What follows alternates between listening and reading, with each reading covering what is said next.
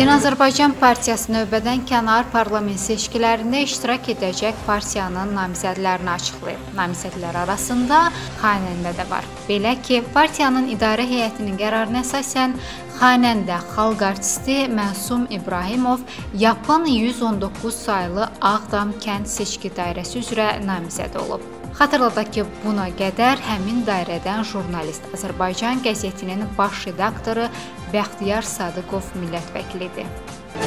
Bu gün Yeni Azərbaycan Partiyasının idarə heyətinin qarşıdan gələn parlament seçkiləri ilə bağlı toplantısı ölkə gündəminə damğa vurdu. Milli Məclisin deputatı Siyavuş Novruzov təmsil olunduğu qurumun deputatlığa namizədlərin siyasi barədə Modernazın suallarına cavab verib. O deyib ki, siyahının dəqiqləşdirilməsi üçün partiya geniş tədqiqat aparıb. 5 il müddətində partiyanın deputat olan üzvlərinin parlamentdə fəaliyyəti, seçicilərlə münasibətləri, öz dairələrindən olan şəxslərin problemlərinin parlamentdə qaldırılması beynəlxalq aləmdə Azərbaycanı təmsil etmə, dövlətçilik və digər məsələlərlə bağlı atdıqları addımlar nəzərə alınıb. Nəticə olaraq növbəti siyahı hazırlanarkən həmin məsələlər önə çəkilib. Tədqiqatların nəticəsində hansı xarakterli namizədlərin irəli sürülməsi, köhnə namizədlərin yenidən irəli sürülüb sürülməməsi məsələsi seçicilərlə sosioloji sorğu şəklində müzakirə olunub. Siyavuş Novruzov deyib ki, partiya 123 dairədən namizəd irəli sürüb. Cəmi 2 dairədə namizəd irəli sürülməyib. Bunlar Naxçıvan Muxtar Respublikasında 3 saylı seçki dairəsi və Xankəndi seçki seçki dairəsidir.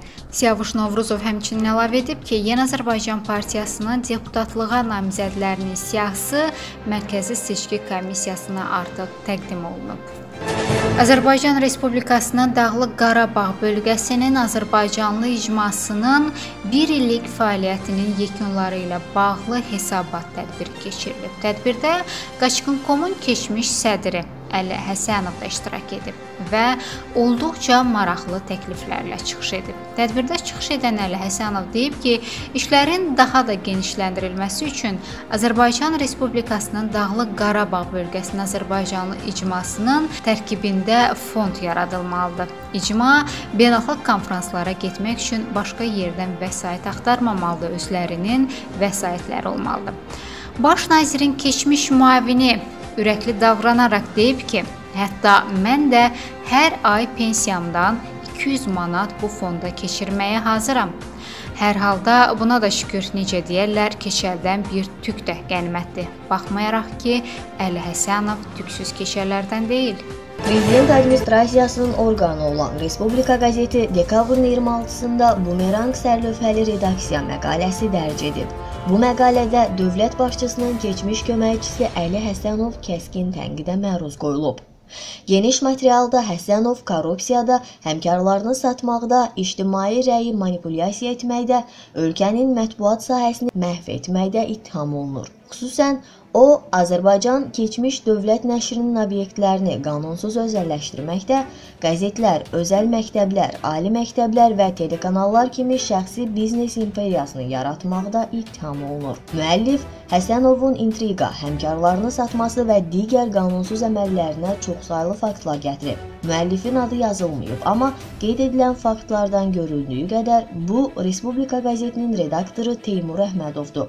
Müəllif qeyd edir ki, bu nəşrin ilk hissəsidir, davamı olacaq. Bu cür sensasiya yaradan materialın dərc olunmasının Əli Həsənov üçün ən ciddi nəticələri ola bilər və bu onun təqibinin və qazandığı zənginliklərdən məhrum edilməsinin başlanğıcına dəlalət edə bilər.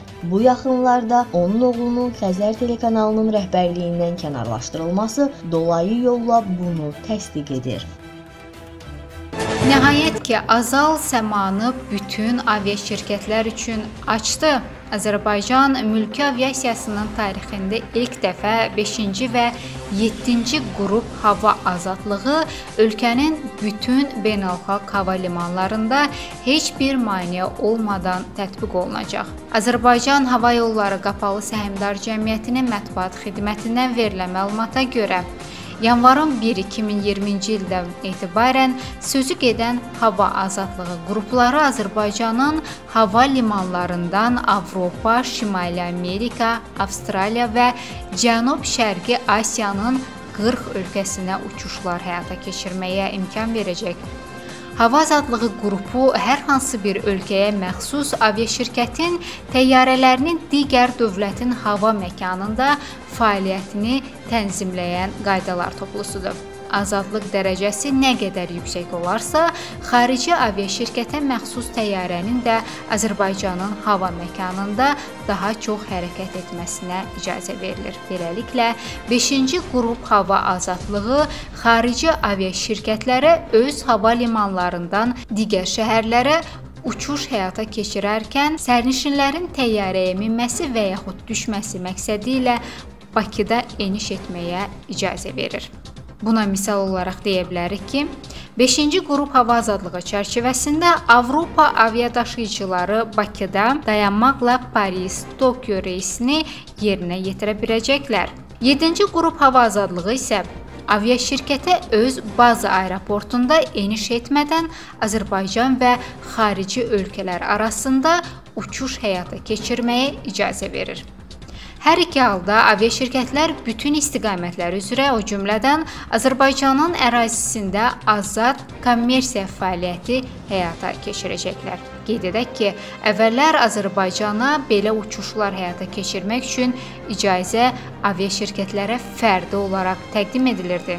Yeni şərtlərə əsasən Azərbaycana və daha sonra digər ölkələrə uçuş həyata keçirmək istəyən bütün xarici aviaşirkətlər milli aviadaşıyıcı ilə eyni hüquqlara sahib olacaqlar.